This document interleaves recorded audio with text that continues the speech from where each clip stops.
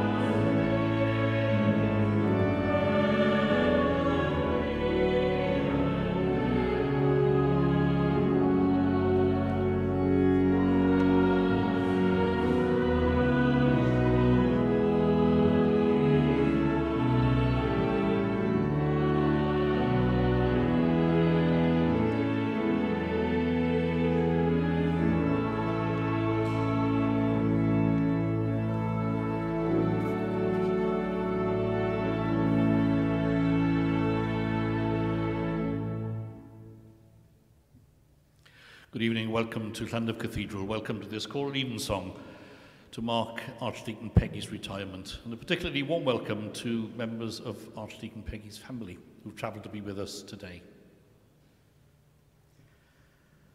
Beloved in Christ, we are here in the presence of the living God and of the whole company of heaven to offer to him, through our Lord Jesus Christ, our worship, praise, and thanksgiving, that we may know more truly the greatness of his love and that his grace may bear fruit in our lives. We have come to hear and receive God's holy word, to seek the strengthening power of the Holy Spirit, and to pray for ourselves and all mankind that we may be given those things which are necessary for our true well being. First, let us confess our sins and seek our Father's pardon and peace.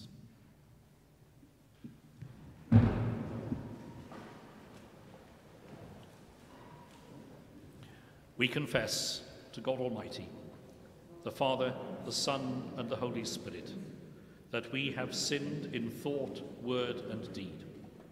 We have left undone those things which we ought to have done, and we have done those things which we ought not to have done. Wherefore we pray God to have mercy upon us. Almighty God, have mercy upon us. Forgive us all our sins, and deliver us from evil. Confirm and strengthen us in all goodness, and bring us to life everlasting. Amen. Almighty God, who forgives all who truly repent, have mercy upon you, pardon and deliver you from all your sins, confirm and strengthen you in all goodness, and keep you in eternal life. Through Jesus Christ our Lord.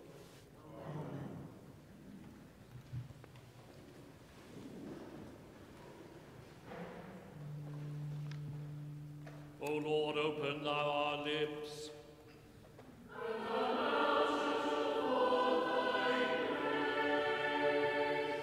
O God, make speed to save us.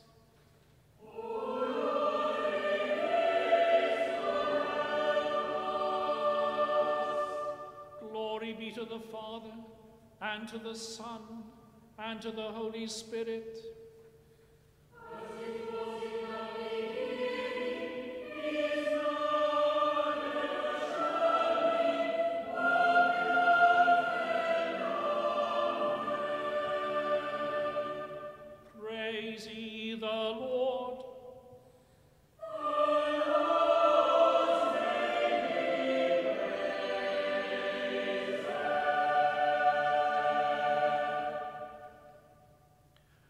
while the choir chants part of the appointed psalm 118.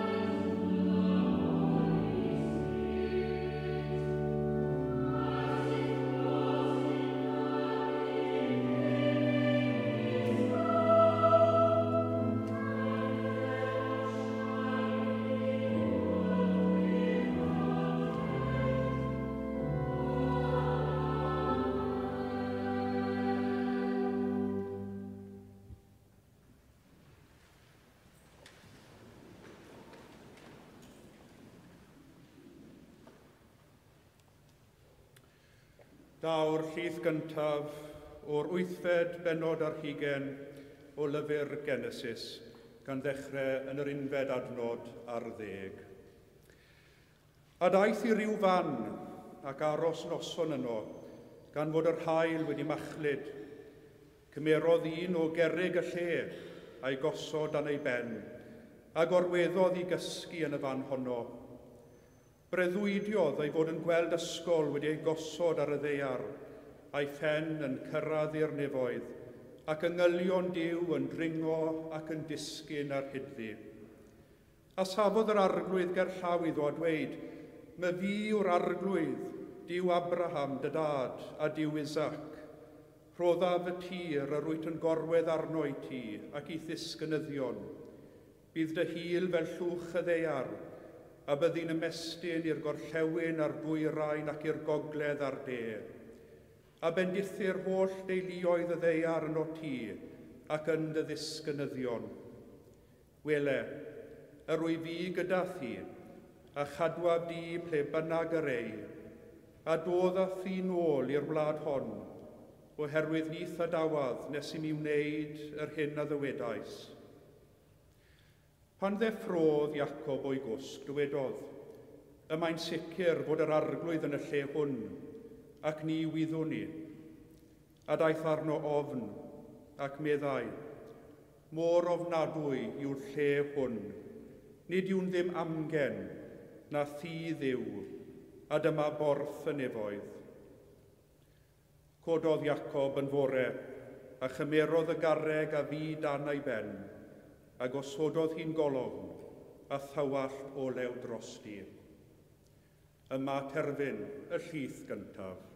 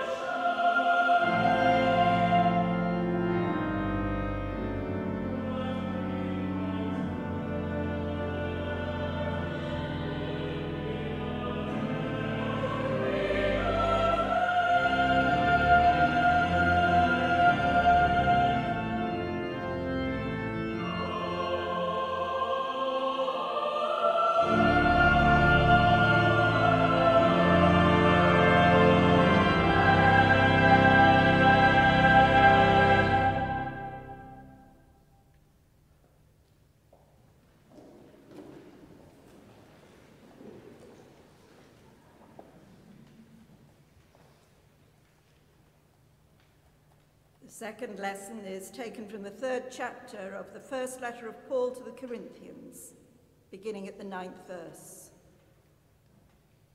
For we are God's servants, working together. You are God's field, God's building. According to the grace of God given to me, like a skilled master builder, I laid a foundation, and someone else is building on it. Each builder must choose with care how to build on it. For no one can lay any foundation other than the one that has been laid. That foundation is Jesus Christ. Now, if anyone builds on the foundation with gold, silver, precious stones, wood, hay, straw, the work of each builder will become visible, for the day will disclose it, because it will be revealed with fire, and the fire will test what sort of work each has done. If what has been built on the foundation survives, the builder will receive a reward. If the work is burned up, the builder will suffer loss. The builder will be saved, but only as through fire. Do you not know that you are God's temple and that God's Spirit dwells in you? If anyone destroys God's temple, God will destroy that person.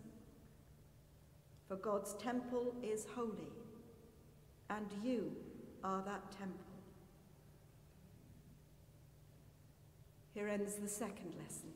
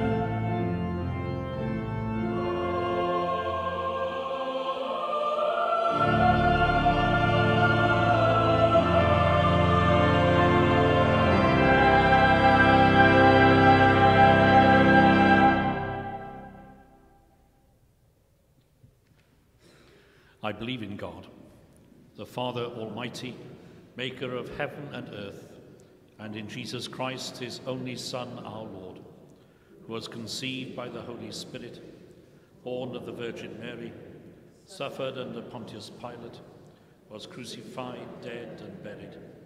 He descended into hell. The third day he rose again from the dead. He ascended into heaven and is seated at the right hand of God the Father Almighty. From thence he shall come to judge the quick and the dead. I believe in the Holy Spirit, the holy Catholic Church, the communion of saints, the forgiveness of sins, the resurrection of the body, and the life everlasting. Amen. The Lord be with you.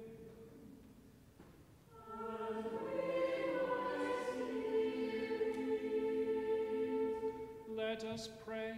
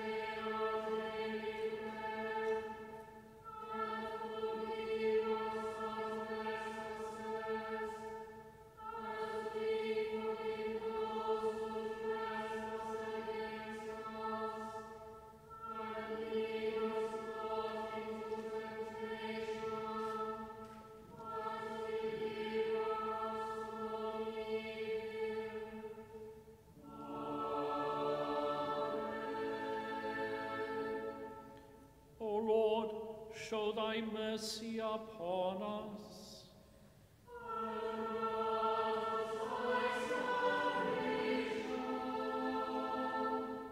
O Lord, save the Queen.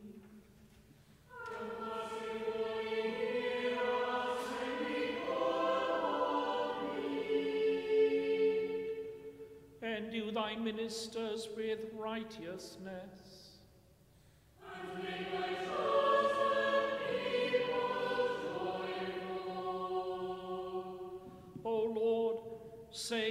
People.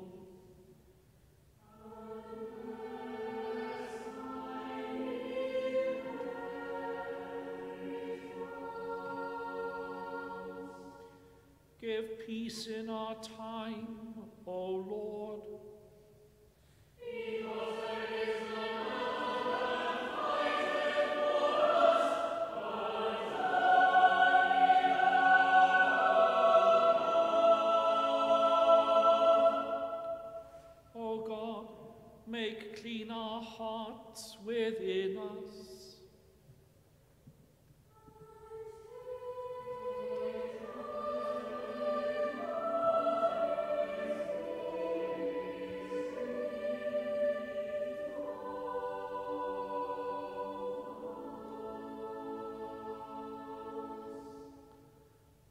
Merciful God, you have prepared for those who love you such good things as pass our understanding.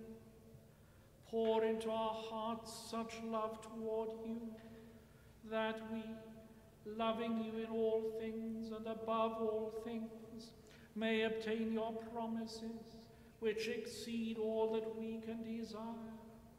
Through Jesus Christ our Lord, who is alive and reigns with you in the unity of the Holy Spirit, one God, now and forever.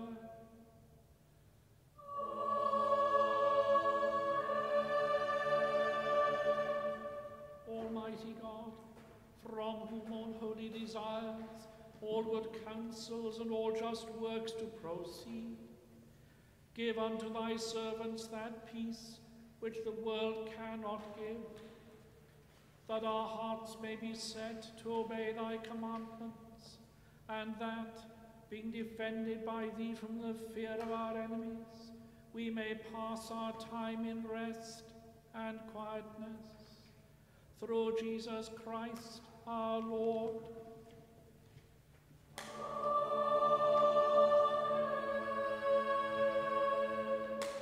Lighten our darkness, we beseech thee, O Lord, and by thy great mercy defend us from all perils and dangers of this night. For the love of thy only Son, our Saviour Jesus Christ.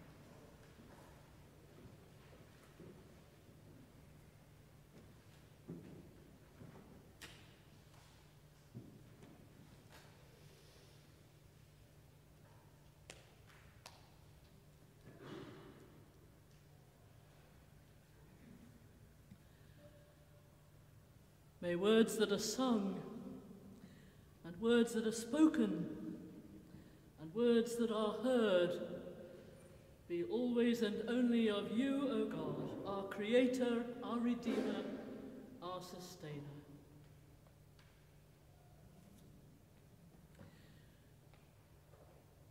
When I am an old woman, I shall wear purple. With a red hat that doesn't suit me and doesn't go. I shall sit down on the pavement when I'm tired and pick flowers in other people's gardens and learn to spit. As I reach the brink of retirement, I think with Jenny Joseph, maybe I ought to start practicing a little now. After all, other women far more eminent than I have already begun to wear purple. I don't think any have quite yet aspired to a red cardinal's hat, but maybe. My granddaughter Miller has been trying to teach me to whistle and grandson Noah to dance the floss. Noah and Miller, uh, I think you and I should get together and together we'll learn to spit. to be learning, growing, discovering. Of course, that's what it means to be fully alive. And the glory of God is a human being fully alive. That was Jacob's awakening as he discovered God's purpose for him in the very land where he was lying. Our first reading tonight. Surely the Lord is in this place, and I did not know it.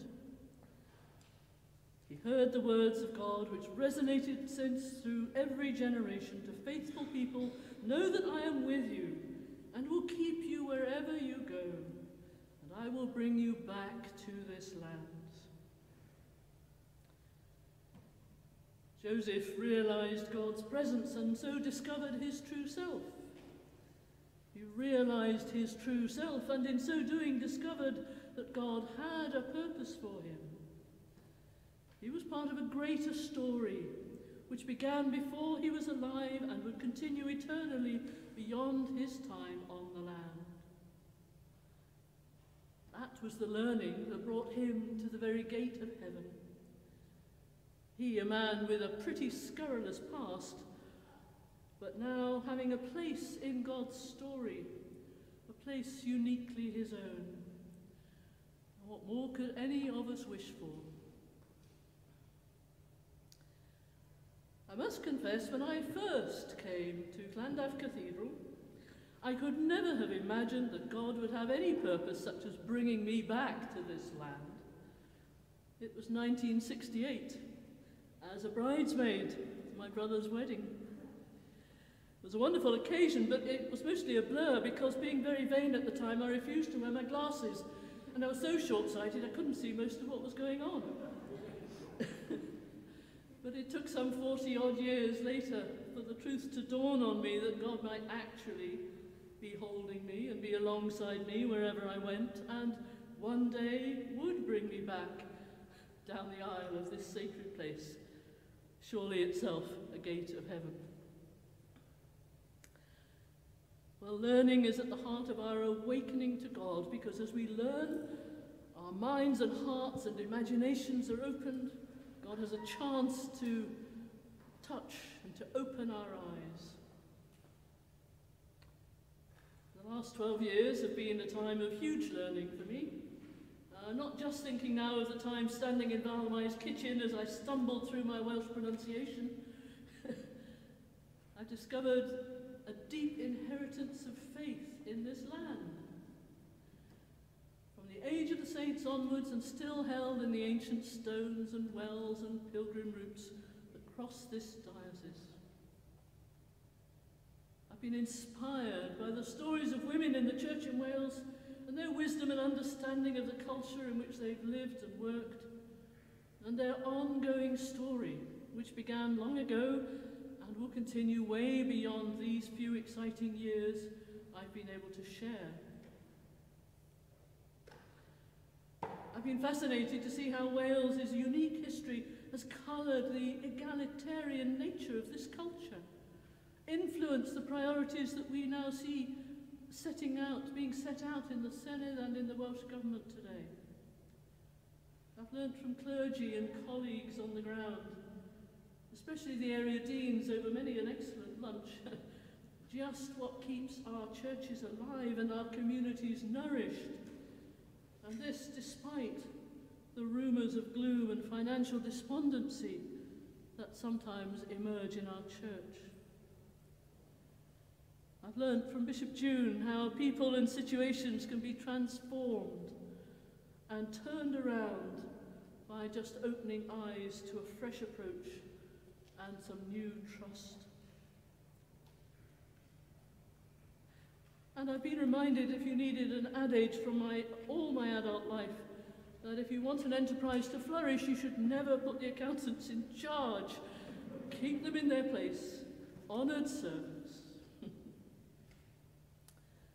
but above all, I've learnt that it's the God who brought me here through odd and extraordinary ways, who has made herself visible in all these peoples and places, so we can know we are all part of a greater story which began long ago and will continue well beyond our current generation.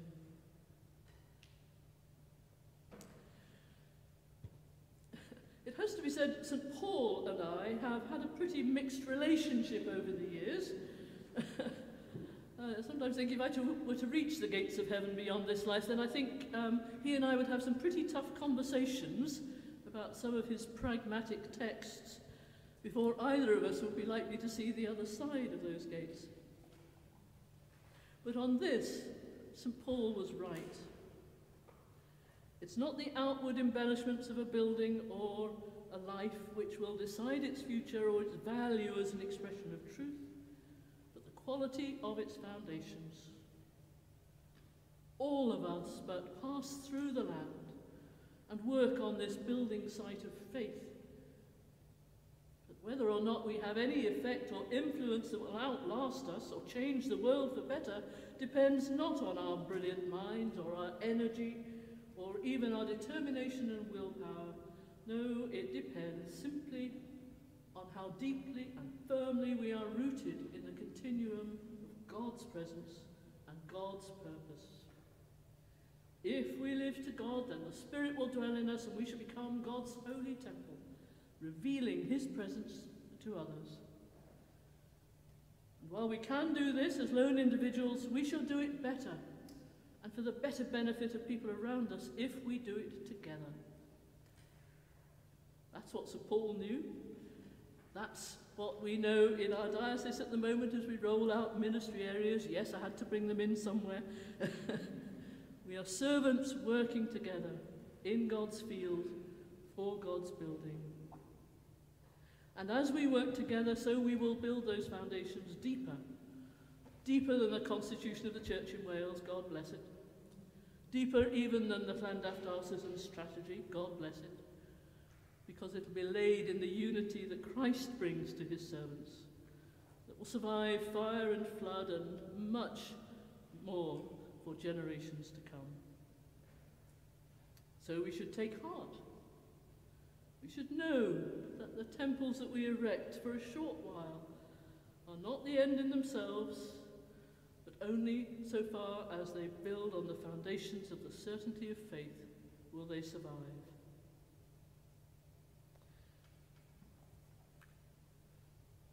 I've been looking for a legacy for my time in Wales, this wonderful period of my life, I don't think I shall have a statue like my worthy predecessor up the hill, and they won't name a beer after me. Though I hope he enjoyed the fact that my Soroptimist Club draped him in an orange sash a couple of years ago as a mark of the campaign against violence against women. Maybe somebody somewhere might just do a little circle dance and remember and teach that others can do it too. Who knows? But rather, I think, I think I simply want to say, in homage to dear St. Paul, remember the things that you have learnt, received, and heard, and seen in me, and then go out and do a whole lot better on your own. And the God of peace will be with you. In the name of the Father, and of the Son, and of the Holy Spirit. Amen.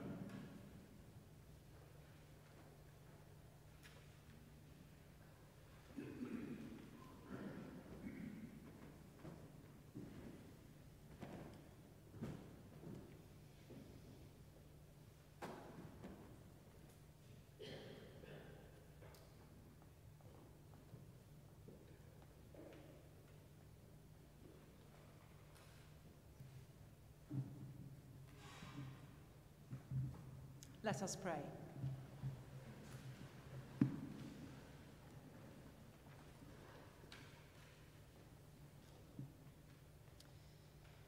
God of love, we give thanks for the ministry of Archdeacon Peggy. We thank you this evening for all the memories we have of working with her,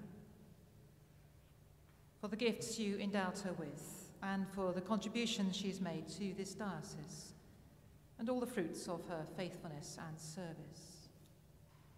We pray for her as she moves into retirement. Grant her, Lord, a long, healthy, and happy retirement with many new friends and a new area of ministry. Pray for June, our bishop, for all the clergy and readers of the diocese, for lay leaders, and all the baptized people of God in this place. Empower us by the gift of your holy, life giving Spirit, that we may be transformed into the likeness of Christ from glory to glory. Amen. Hold in your embrace, dear Lord, all who witness to your love in the service of the poor and needy, and all who minister to the sick and dying, all who bring light to those in darkness. Touch and heal those whose lives are disfigured by sickness and pain.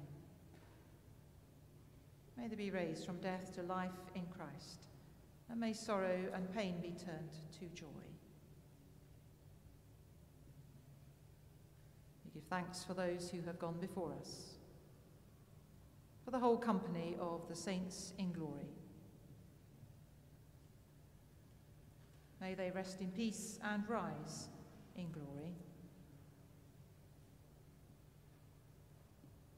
And with them in fellowship, we join all our prayers and praises. By your grace, may we, like them, be made perfect in your love. Blessing and glory and wisdom, thanksgiving and honour and power be to our God, for ever and ever. Amen.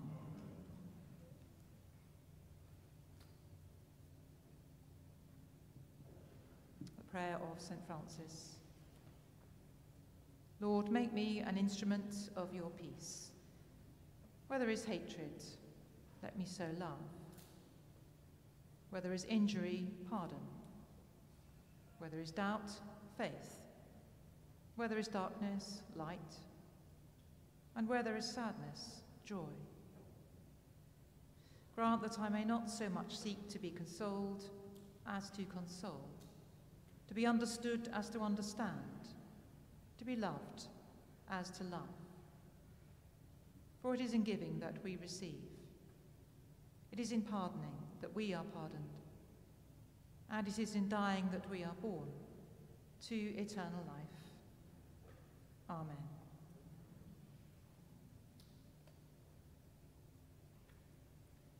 Gracious God, you've given us so much today. Grant us also a thankful spirit into your hands we commend each other and those we love. Be with us through this evening. And when we take our rest, renew and refresh us for your service in a new day, to the praise and glory of your Son, Jesus Christ, our Lord. Amen.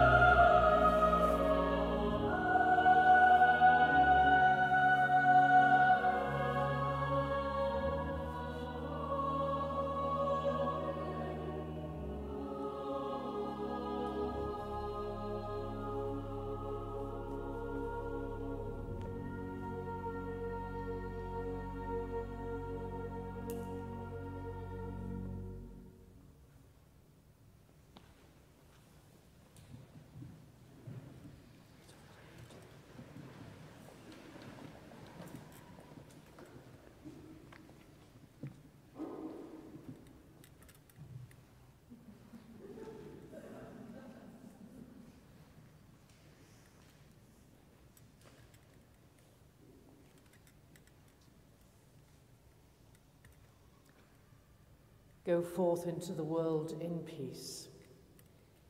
Be of good courage.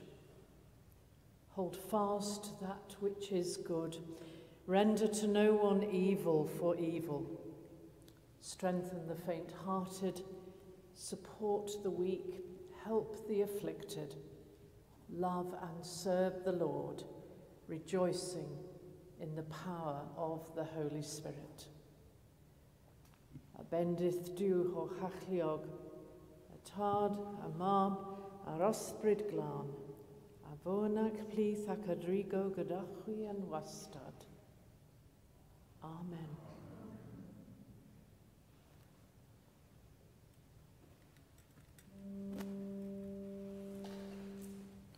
The Lord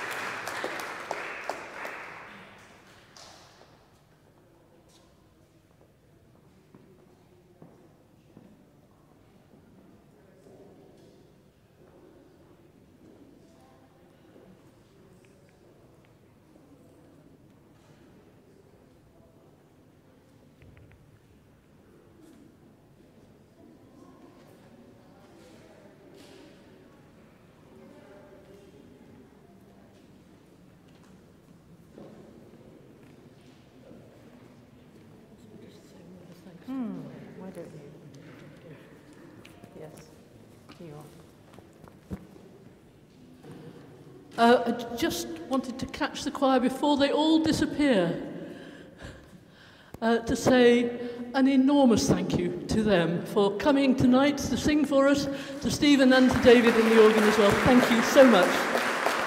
Wonderful.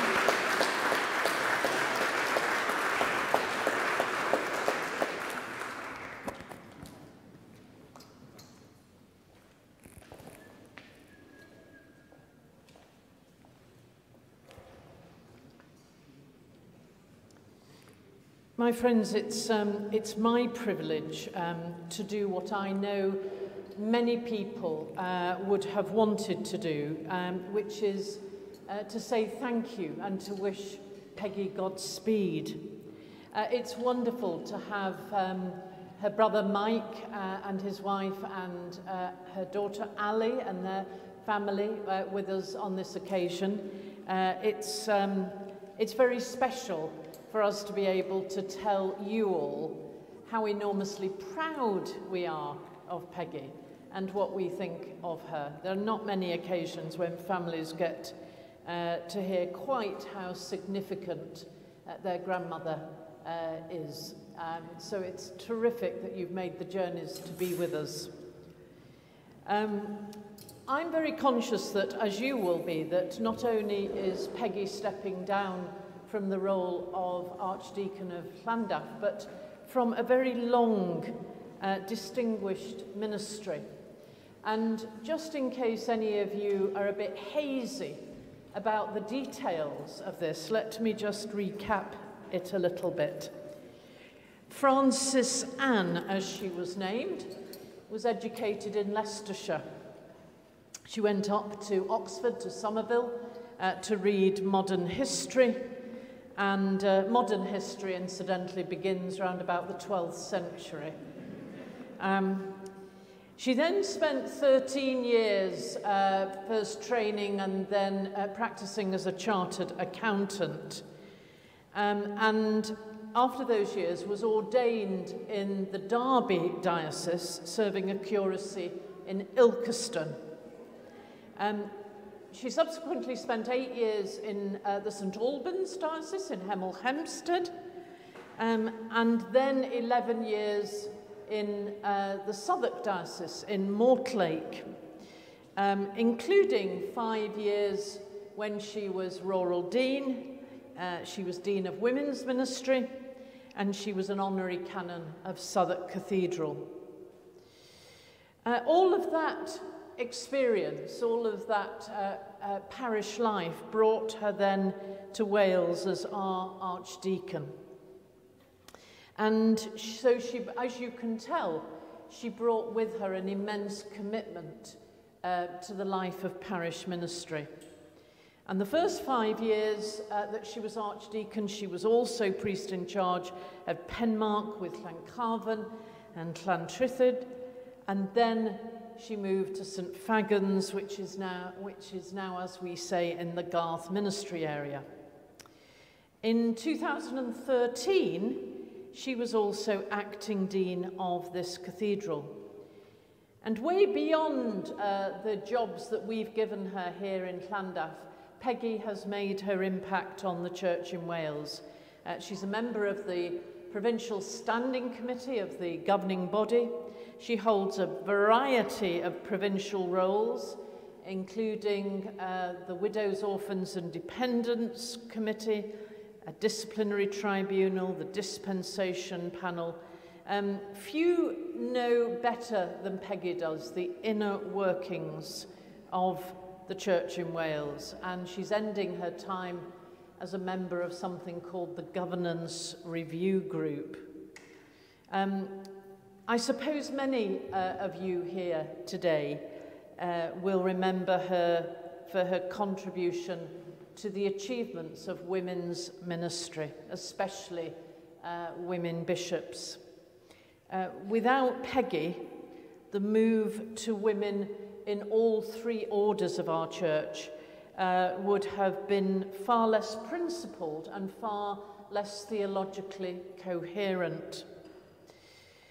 So you can tell that as we uh, bid her farewell into her retirement, she has been a faithful servant of the church, in ordained ministry now for 34 years, I calculate, Peggy, and for that we are profoundly grateful. The church owes her. Now, you all here and those um, tuning in will have your own uh, memories of Peggy and your own reasons to be grateful. Uh, but I just want to share uh, some of mine. Um, Peggy, you have been a minister of the gospel with a warm and an empathetic heart. Um, you will all know that Peggy has a hard head. She is intellectually bright, she's quick to see the implications of things.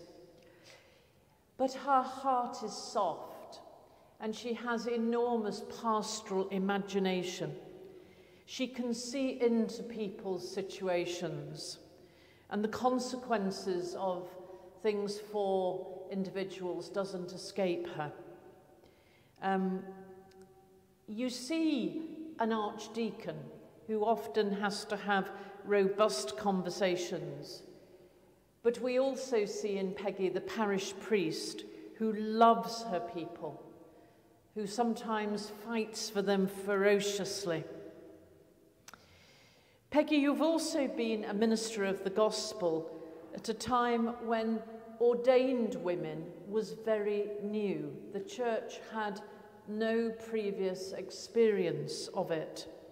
And I want to say to those of you, uh, your friends here that um, you shouldn't underestimate what was asked of that first generation of deacons and priests. Peggy spent seven years in deacons' orders, don't forget, because the church uh, was slow and neurotic about uh, getting to priesting them. Um, and that, that generation of women had to face a, a constant uh, tension between uh, do they exercise their diaconal orders, their priestly orders? Do they do it just like the men in order to reassure and prove that nothing was going to be different, that they were stepping into an ancient tradition? Um, or do they do it like a woman because it is different and that's the glory of it. Uh, Peggy, um, through all the all the twists and turns of being the first generation of women ordained, you have been both a priest and an archdeacon as yourself. But you have played a role, and I hope you'll think on this uh, a long time in the years ahead. You have played a role in making it easier for those who come after you. And then, thirdly, um, you have been a minister of the gospel when leadership itself needed feminizing. Um, you know, in your lifetime, uh, leadership has moved from command and control, um, rather more autocratic, top-down, to shared oversight. And we heard that in your sermon. We heard you talk. Uh, you have always worked in teams. It's your absolute instinct. And it has been a joy for me to agree and disagree with you. Um, uh, because she does both with immense probity and passion and team accountability. I, Peggy won't mind me telling you that one of our uh, recent staff meetings, she and I got into an argument and we were sitting at uh, socially distanced, you understand. We were sitting at opposite ends of a room and neither of us were going to let go of this argument. It was such fun, wasn't it? Um, uh, a little, a little terrifying for those who watch us, but uh, uh, you have been a glorious team player. So not only the uh, church in Wales has benefited from the coherence of Peggy's leadership, there are many organisations that she's been involved uh, with. Uh, I think of particularly Women's Aid, and I think Rachel Minto behind her those, hello Rachel, Uh, Rachel, who's the chair of um, uh, Women's Aid, I know uh, will want to um, express to you uh, their thanks, but uh, there are so many who will be glad to see you back as both friend and counsellor um, to them.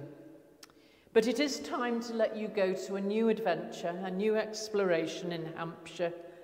Uh, you go with our gratitude, you go with God's blessing you go with us all saying to you, You have been a good and faithful servant.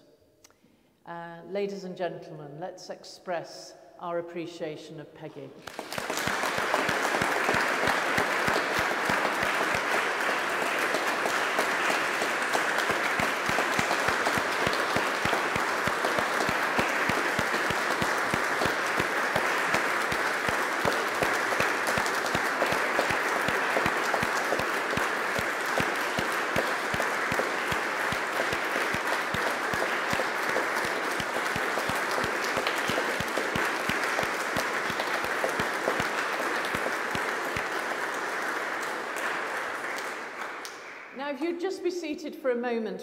Hand the microphone over to Peggy, we've just got one or two little uh, gifts, because there are many people in the diocese who've contributed uh, to um, Peggy's gifts this evening.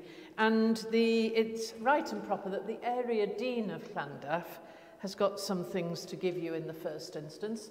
Uh, some flowers and uh, a cheque uh, which I hope contributes to um, you buying your own flowers and not stealing them from your neighbour. and, um, and a photograph of the area deans who you mentioned. Um, but we also have one other, I think we have one other gift that's coming uh, from Mike Lawley. Is Mike here? Yes, there he is. Um, just stay there one second, Peggy, because there's another little something coming.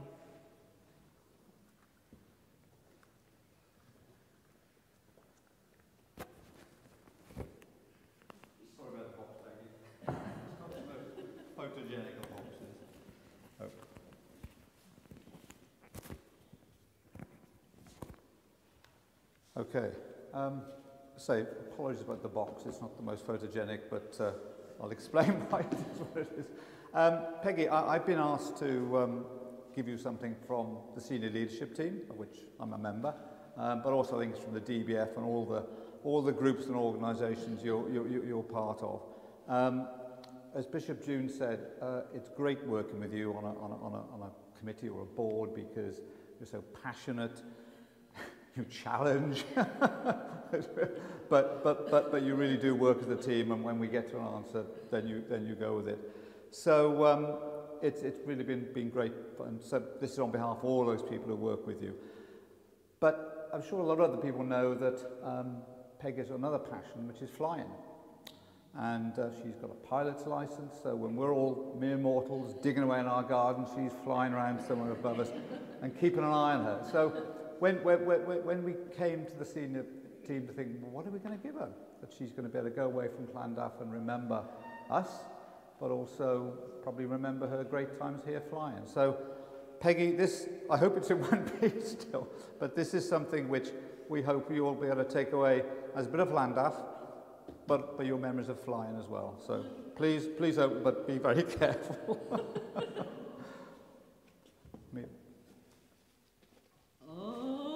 But it's on a stand. Look at this. oh, my word. the, the, the stand as well. It's a PA-28. it, in Llandaff colours. And what's the number on it? PGY Lima Lima Delta Foxtrot. it's Peggy Llandaff. so hopefully... Oh, Peggy, one wheel has fallen off, but the wheel will be put back on this week.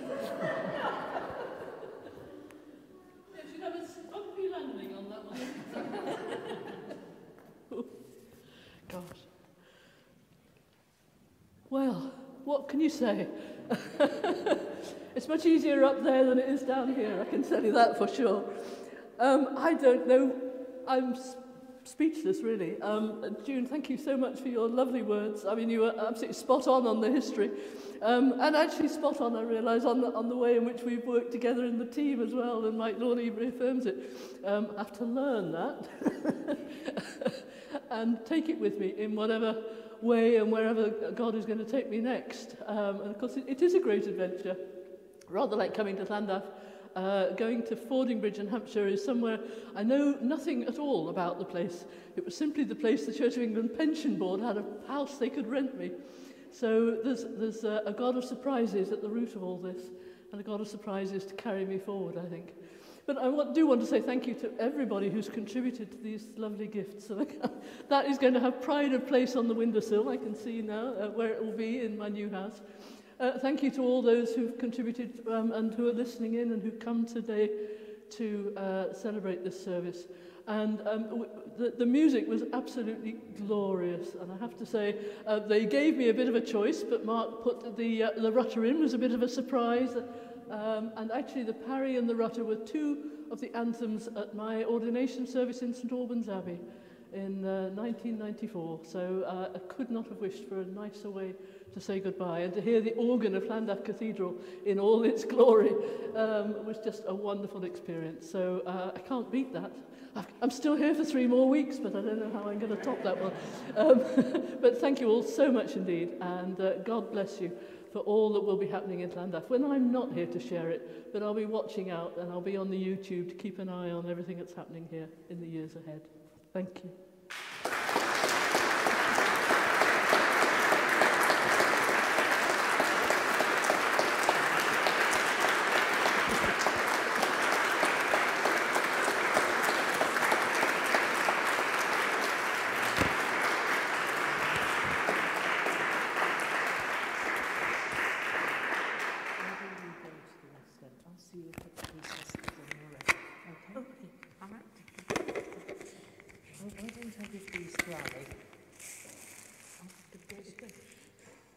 I'll make sure the plane gets over. You go to the West End and I'll make sure the gifts get there.